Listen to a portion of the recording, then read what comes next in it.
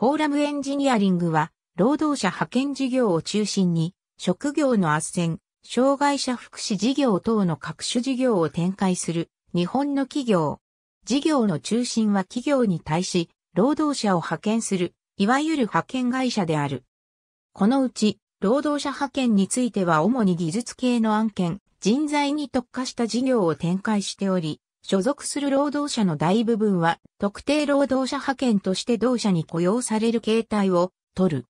取扱い分野は案件の多い順に自動車関連、電気電子、精密機器、機械関連、家電、AV、IT 有機雇用の一般派遣会社と違い、同社の雇用形態は多くの場合、特定派遣と呼ばれる常用型の形態を取る。このため従業員は社会保険加入となる。健康保険組合を持ち、確定拠出年金への加入も。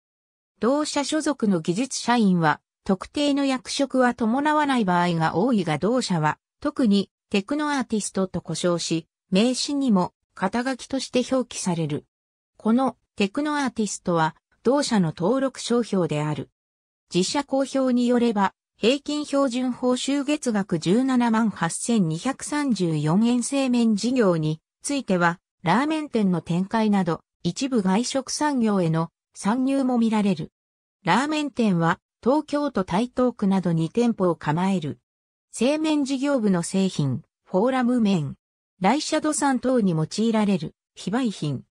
2009年、製麺事業部において、業績不振から身体障害者の労働者24人の予告解雇を実施しようとしたところ、全国一般東京東部労組、フォーラムエンジニアリング支部を結成し団体交渉を行い、予告解雇を撤回したという報道がなされたことがある。このほか、提供時期は不明だが、以下のスポットニュースのスポンサーを担当していた。ありがとうございます。